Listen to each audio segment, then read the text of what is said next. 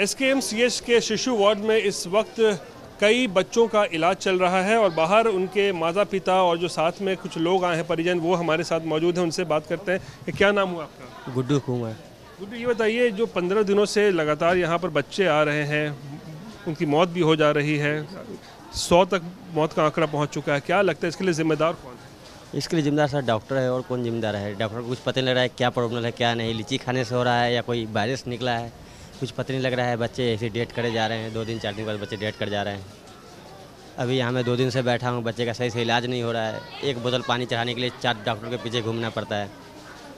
फिर भी कुछ फ़र्क नहीं पड़ रहा है इसका प्रशासन कुछ देख नहीं रहे हैं। आपको लग रहा है डॉक्टर को पता नहीं नहीं चल पा रहा है कि किस ट्रीटमेंट का क्या लाइन होना चाहिए? वो डॉक्टर को शायद प- पता ही नहीं लग रहा है सर क्या हो रहा है? क्या लीची खाने से ऐसा हो रहा है कि कोई वायरस निकला है बुखार हो रहा है?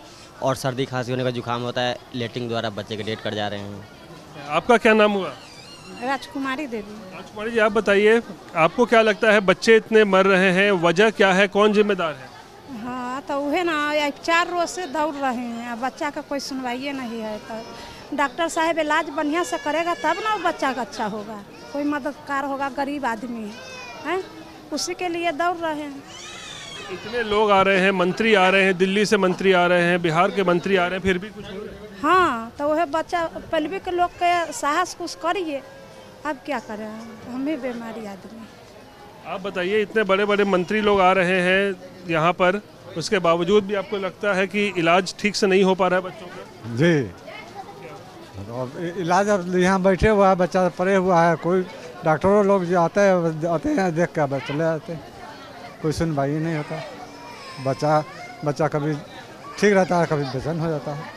इतने सारे बच्चों की मौत हो गई है। सौ बच्चे तकरीबन मर चुके हैं। जिम्मेदार कौन है? कौन जिम्मेदार है सर? हम किसी का इसका आपको लगता है कि गलती हो सकती है? जिसकी वजह से इतने बच्चे ये तो डॉक्टर का गड़बड़ी से बच्चा मरता है। डॉक्टर अधिक करता है तब ना बच्चा मरता है। डॉक्टर अगर सही दवाई करेगा तो बच्चा नहीं सरकार भी कह रही है कि हम लोगों ने जनसंपर्क अभियान खूब चलाया पिछले दो तीन महीनों में। आपको लगता है ये सब हुआ था आप लोग के गाँव में? सर ऐसा तो नहीं हुआ है। देखने को नहीं मिला है सर। जन जागरूकता चलाया गया था इसको लेकर चमकी बुखार? नहीं नहीं नहीं सर। पूछ लीजिए इन लोग बड़े बुज़ुर्ग लोग हैं। नहीं चलाया गया। बड़े बुज़ुर्ग हैं गाँव में आप लोग के क्या कोई जन जागरूकता अभियान ऐसा चला? ऐसा कुछ नहीं हुआ है। हमारा बच्चा अभी एक्सपायर कर गया है ऐसे हम इसीलिए यहाँ खड़े हैं। हुजूर के सामने हम समझे कि हुजूर से कुछ इसका उद्धार होगा। अब कुछ नहीं सुनने वाला है कोई ये तो सरकार सुनते हैं कि घोषणा कर दिया है कि ये चार लाख मिलता है।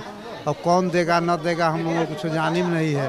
डॉक्टर कहता है कि ले जाओ घरे डॉक्टर से कहता है कि जल्दी हटाओ ये से बेड खाली करो ले जाओ घरे क्या करें हम लोग जैसे हम लोगों को तो हुआ। किसकी मौत हो गई हमारी बच्चा है जैसे कौन है आपका? हमारा भतीजा है? जी। कितने साल का?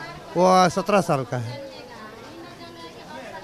हम हुजूर के देखे हैं तो दौड़ते आए हैं कि हुजूर से कुछ उधार हमारा हो जाए।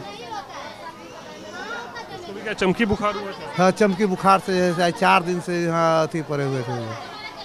पहले उसका कोनो उपाय अगर है तो जैसे बता दिया जाए कि उस गरीब का कोनो उपाय हो।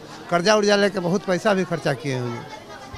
तो देख सकते हैं परेशान है परिजन नाराज़ है परिजन कहते हैं डॉक्टर जिम्मेदार है सरकार जिम्मेदार है सरकार दावे कर रही है कि पिछले दो तीन चार महीनों में इस बीमारी को लेकर कहें, इस बुखार को लेकर कहें, काफ़ी जन जागरूकता अभियान चलाया गया गाँव में।